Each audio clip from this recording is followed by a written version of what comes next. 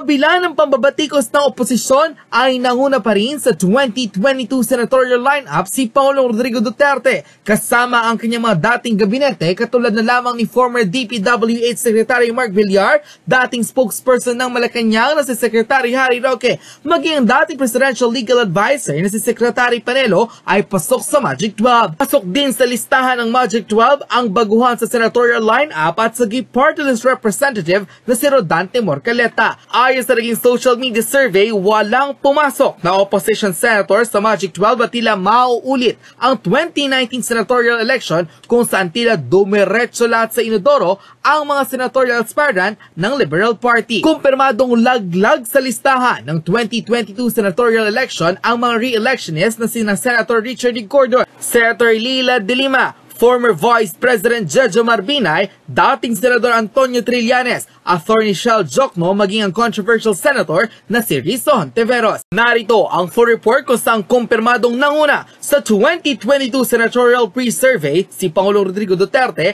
maging ang kanyang mga dating gabinete. Narito ang full report.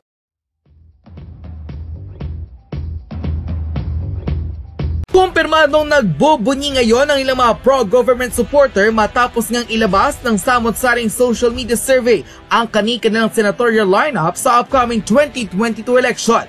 Eksaktong mahigit sa isang buwan matapos nga ang pag-file ng kani-kanilang Certificate of Candidacy bilang mga aspirant senator at re-electionist sa upcoming 2022 election. Ayon sa ilang mga political analysts ay hindi na nga raw nakapagtataka kung ang ilan sa mga dating senador ay hindi pumasok sa top 12 ng senatorial lineup sa 2022 election.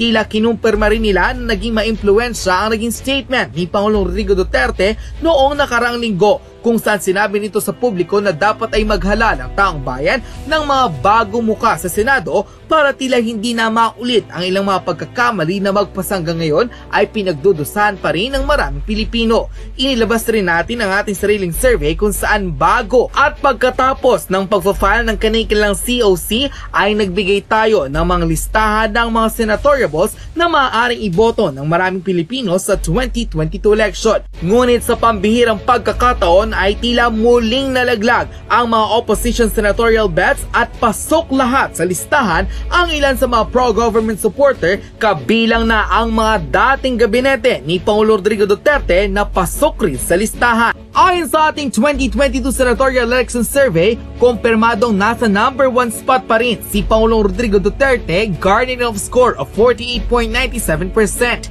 Ikalawa, ang congressman at party list representative na si Rodante Morcaleta na nakakuha ng 45.11%. Ang dating DPWH secretary na si Mark Villar na nakakuha ng 43.76%. Ikaapat, ang journalist turned blogger na si Rafi Tulpo na nagkaroon ng 38.54%. Ikalima, ang former spokesperson ng Malacanang na si Secretary Harry Roque na nakakuha ng 37.88%. Sinundan ng viral lawyer at Marcos loyalist na si Attorney Larry Gadon with 36.04%.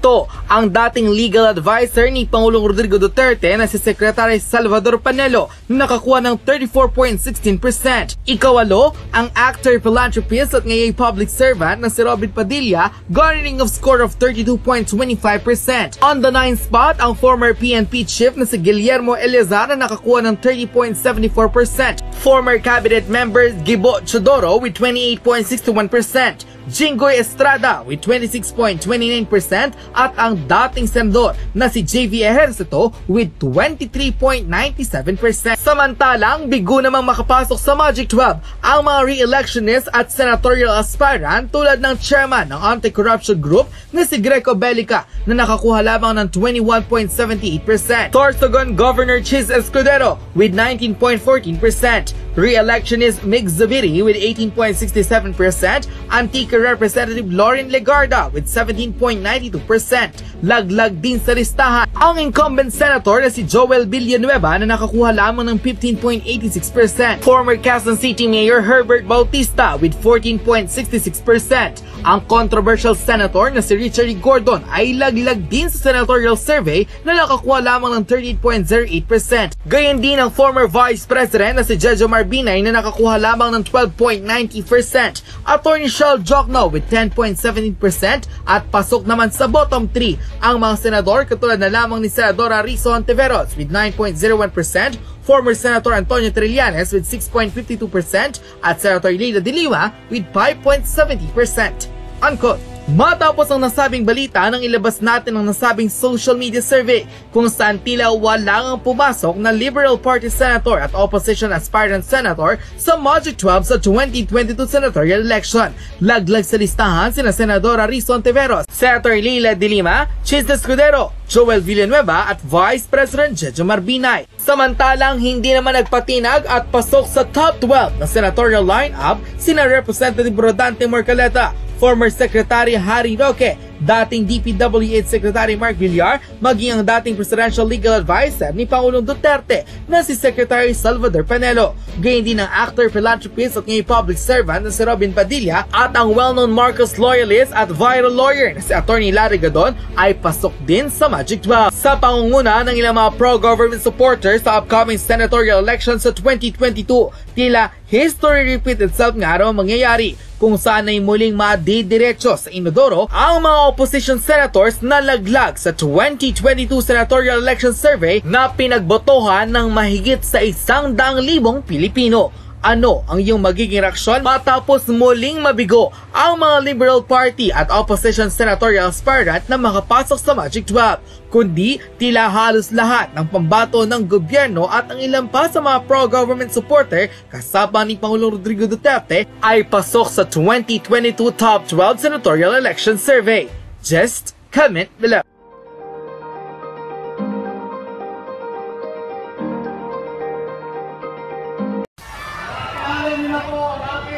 Running mate, si Mayor Inday Sara Duterte. At ako po ay sinasabi ko lagi dahil ito ang aking paniniwala. Ako po ang pinakamapalad na presidential candidate sa halalan na ito. Dahil dahil nakasabay ko ang isang presidential candidate na pinakamagaling, pinakamabait, pinakamahusay, at pinakamahalaga sa imig panindigan, Mayor Inday Sara for Vice President. Wag, wag! Kaya po, ang sigaw po natin, Bong Bong Sara! Bong Bong Sara! Bong Bong Sara! Bong Bong Sara! Ako yung nagpapasalamat po sa inyong lahat na kayo yung alam ko, nagantay kayo ng matagal, hanggang inabot na po tayo ng dilim, at nandiyan pa rin kayo. Nakakatagal ko rin po sa nakita kayong lahat, lahat ng puso, ng puso nagsusuporta sa tambalang Marcos Duterte.